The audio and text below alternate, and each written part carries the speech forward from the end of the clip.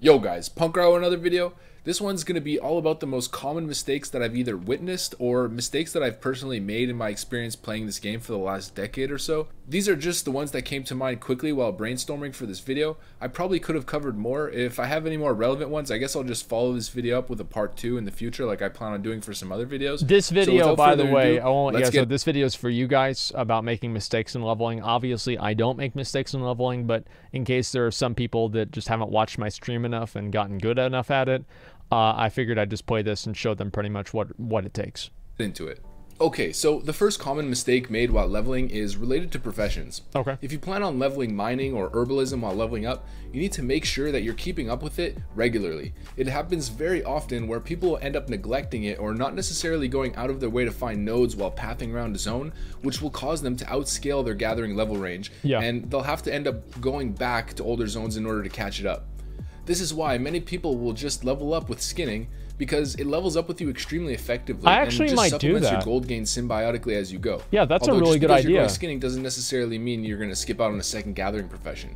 If you want to one common mistake that I do make, I heard saw this in chat. One common mistake that I do make while leveling is um playing a warrior. That's that's a big one absolutely speed level, then don't take any professions at all. That's what Joana would recommend in his leveling guide, but he's yeah. pushing for world record level times, and you should definitely level I did the same thing. Uh, I never leveled professions. It. Also, make sure to pick up first aid. I've seen so many people skip first aid in vanilla, or people who play healer and say, oh, I don't need first aid, I have healing spells. That's just totally wrong. Absolutely wrong. First Aid is so good and classic, everyone should have it maxed at level 60. It's an absolute must have. The next mistake that I've noticed is certain people tend to avoid mob grinding almost entirely. In the newer yeah, they call the them game, babies. There's ample quests. You know, more quests in a zone than you can actually finish before actually. Mob grinding was what it was about. Vanilla is entirely different you'll end up completing an entire zone in terms of all the quests that it has to offer, and sometimes yeah. still feel underleveled, or most of the time still feel underleveled to go to that next level. Most of the zone, time, more like all forcing of the you time. to maybe trek across the world and do quests in another zone entirely yep. before you're ready to move on forward. So you might finish all of Duskwood, let's say, and still not be ready to step foot into Stranglethorn or Arathi. So you'll end up having to trek to wetlands to reach that next level threshold. Okay. I would suggest mob grinding in vanilla a good amount. If you're effective at hard farming mobs without dying a million times or killing super ineffectively, this concept can be used in multiple different ways. The one thing that everyone seems to mention in their videos, and you've probably seen it a million times, is killing everything on your way to wherever you're going. I'm always killing my uh, way through any path that I take, like killing my way through the jungle in a sense.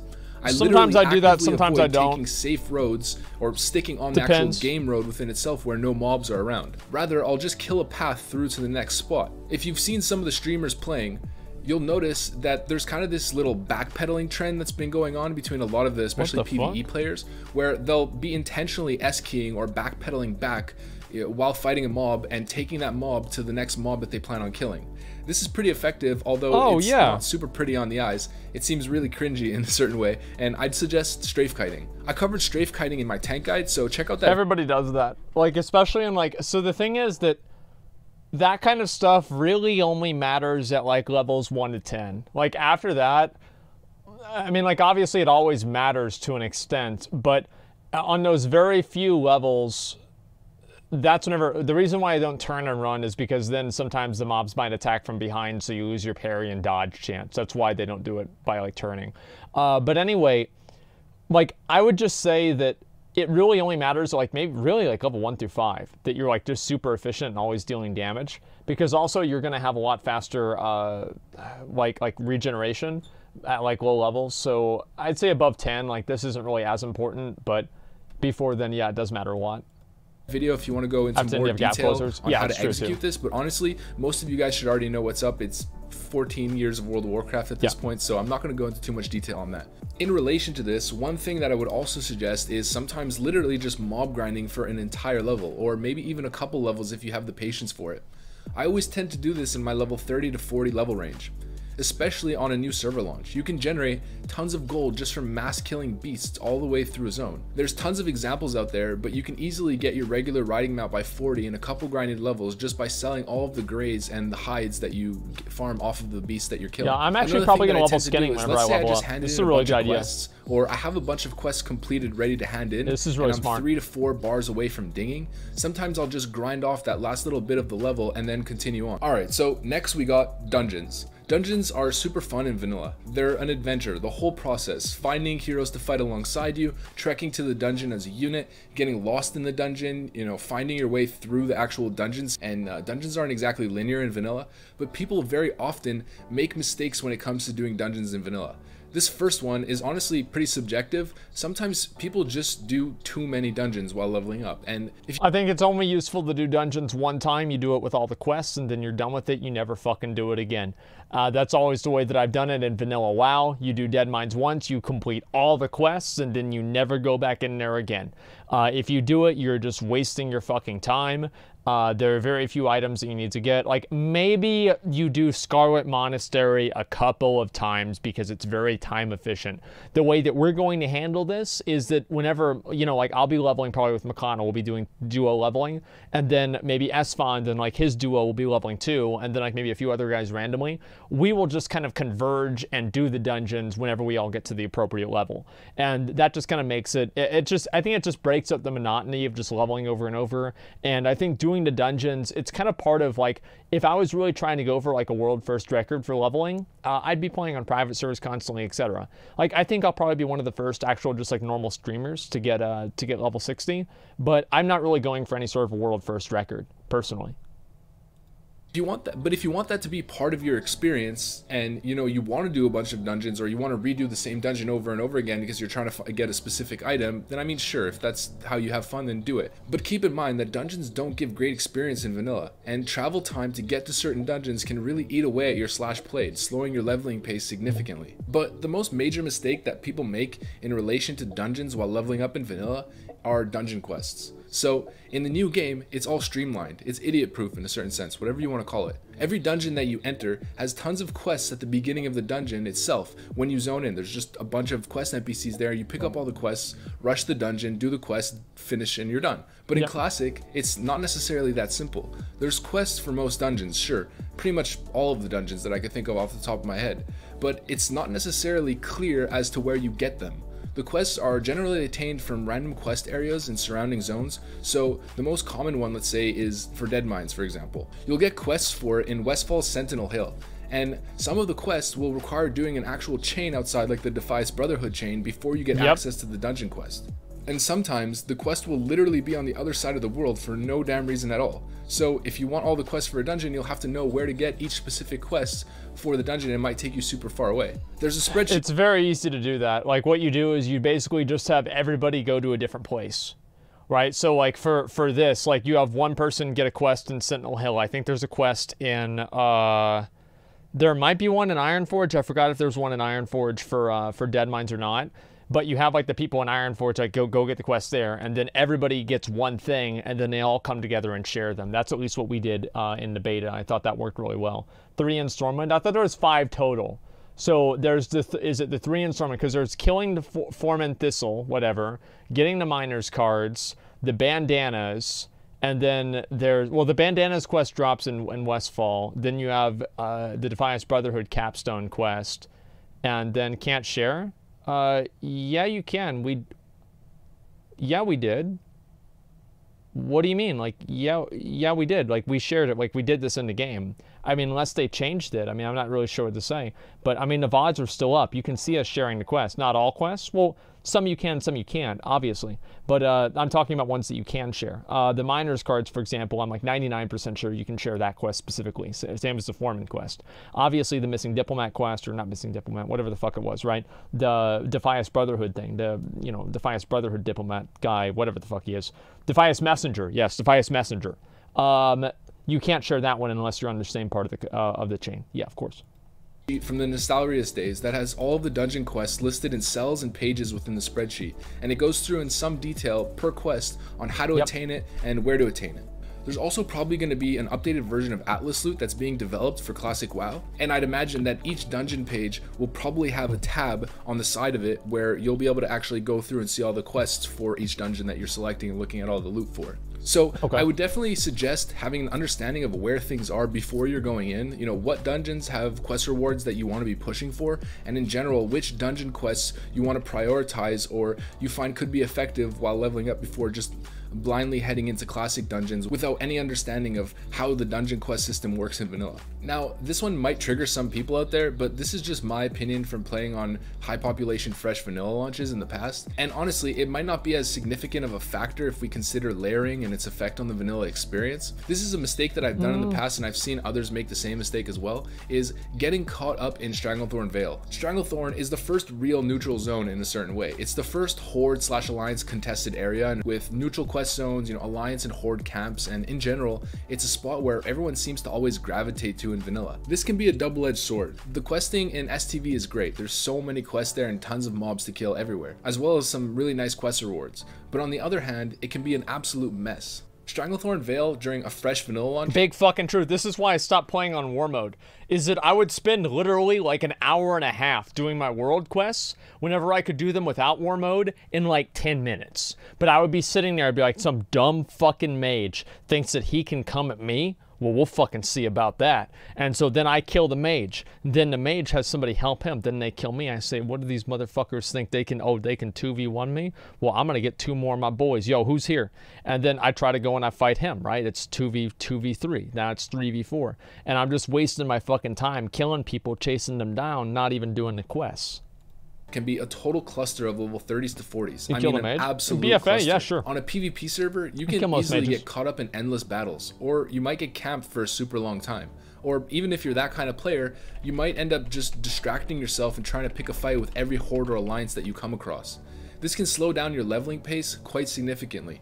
I'm going to end up running a hunter in vanilla, so my plan is probably to go to Northern Stranglethorn Vale, do the big game hunter quest line, and then most likely head north to Arathi Highlands and just mob grind and quest. Then head to Desolace in the later 30s for pretty much the same thing. I want to farm gold as I level, so I'm probably going to end up avoiding Stranglethorn Vale for the majority of it. As I know, I'll probably end up getting caught up in brawls pretty much non-stop. When I start, I can't stop. If someone kills me while I'm kiting a mob just trying to live, you know, or kills me in a scummy manner, I'm gonna end up spending 30 minutes to an hour just trying to hunt that same person down with a vendetta. So again, Stranglethorn yep. Vale can be a double-edged sword. Yep. And I guess the point of this is, if you want to level at a strong pace, you probably don't want to get too sidetracked with world PvP outside of the odd fight. Stranglethorn Vale, if you're hyper competitive, will bring out that nature out of you and throw you into a PvP frenzy. Also, as I mentioned that I'll be gunning for I love that, that video, man. Game Hunter, that's another thing that people tend to overlook. If you can get an idea of where good weapons are, good quest rewards that yield weapons are for each level range, try not to skip zones that'll end up giving you a big weapon upgrade as a hunter or a melee. A strong weapon is the biggest boost that you can get in vanilla, especially at lower levels. That's why warriors gun so hard for that whirlwind axe at a low level. It's a huge power spike which speeds your leveling process up significantly. The next mistake that I see very often is heading into a higher level zone way too early. When mobs are significantly higher level than you are in vanilla, you're at a severe Never disadvantage due to how defense and weapon skill. Like the way that I'm gonna do it, I'm just gonna always farm lower level mobs. Like warriors are gods at killing lower level mobs, right? Such as uh you know, like let's say like, you know, in Westfall or, you know, like rogues or something like that. But whenever you fight higher level mobs like, you know, red level or orange level mobs or mages, then you're going to have a bad time.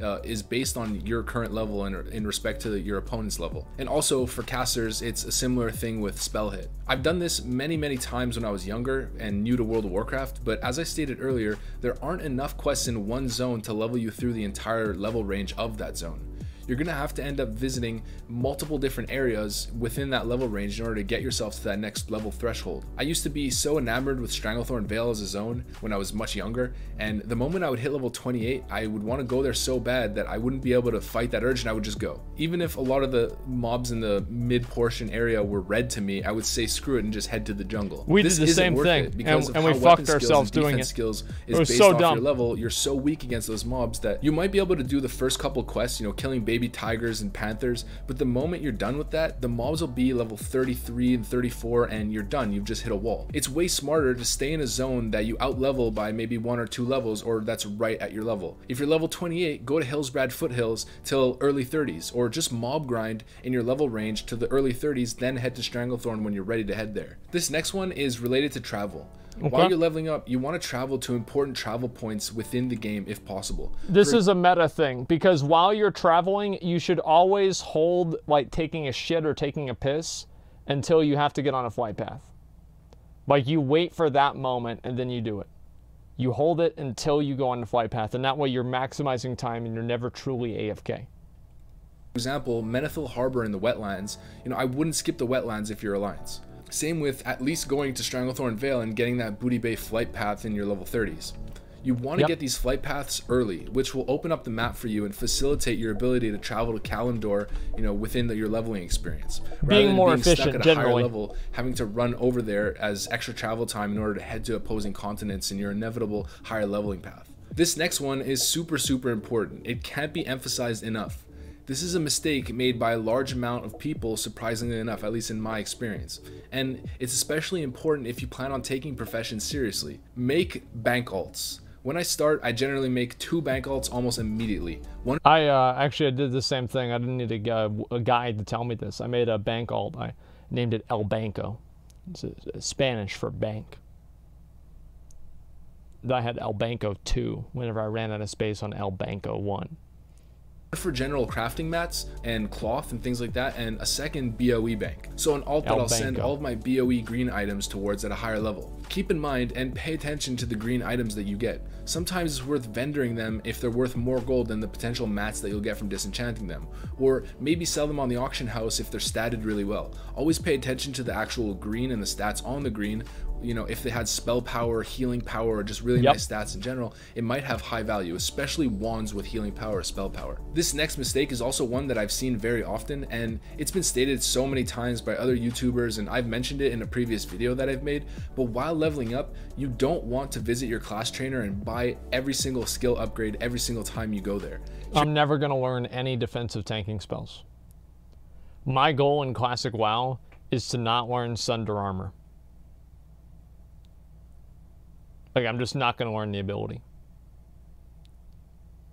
Like, uh, the thing is that, said the main tank, okay, well, besides in tanking, like for DPS, that's fine. Or sorry, for tanking, yeah, sure. But until then, I'm just not going to learn the ability. Sunder Armor is a tanking ability. Same with Taunt. I don't want to use them. I don't want to have them on my bar. I don't want to have anything to do with them. Uh, they are purely tank abilities. I, all, I'm going to level up Mortal Strike and Whirlwind. That's all I need to worry about, boys, and I'm going to spend all the rest of my money on really expensive big swords. Training skills is expensive in Classic, especially in the early days when you don't have much That's gold. it. Doing this will drain your gold extremely quickly. Instead, you want to specifically train the abilities that are the core to your leveling experience. For instance, as a hunter, I won't be putting too much emphasis on demon tracking, you know, higher ranks of wing clip or, you know, little things like that. Instead, what I'm going to do is focus on arcane shot, serpent sting, and the skills that are first prio when it comes to actually killing mobs effectively. This is really important for saving as much gold as you can until you hit level 40 so you can get that mount immediately. Yep. So last one that he I'm only has 32,000 really gold. quick because again, you know, it's, it's something much. that's been stated a million times. But from level 1 to level 10, you don't incur res sickness when you resurrect at a spirit healer. So dying sometimes can be used as a pseudo hearthstone to get back to the quest hand in or to the next spot. From level 11 see like that's something that i wish i spent more time on like private servers doing or like you know even on the beta doing is knowing where to die to kind of like speed myself up to move from one point to another for res sick. But i never really spent a whole lot of time doing that. I know there's like a few of them like dying in the mines and you res at, uh, at like goldshire or something like that but for the most part it's not really as popular. To 20 the res timer applies so but it's only one well, yeah. minute added per level. So at level 11 wait a minute.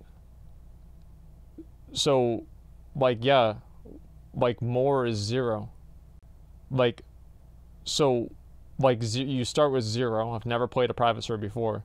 So spending more time playing on a private server you, you start with zero. Like anything would be more right i mean then it's gonna be one minute debuff. At level 12, it's gonna be a two minute debuff. Okay. At level 15, five minute, and so on and so forth until it gets to 10 minutes at level 20. So to is just exactly how dumb. much time Really? need I had no idea. you gotta get back into killing mobs again or whatever. And if it makes sense to take a three minute res sickness, then do it. Alright, well, that's it for this one, boys. I tried to keep this one brief and just go over some general mistakes that are made while uh-huh. leveling in vanilla. If this video does well, I'll probably continue to make some more leveling videos and maybe some leveling guides. So hit that like button if you want to see more. Make sure to leave a comment if you guys have any mistakes that I may have missed in this video and potentially I'll make a part 2 and add some of them in. Subscribe for more content, of course, you know the drill soldiers. I hope you enjoyed this one, and with that said, have a good one. I'm out. Peace. Yep.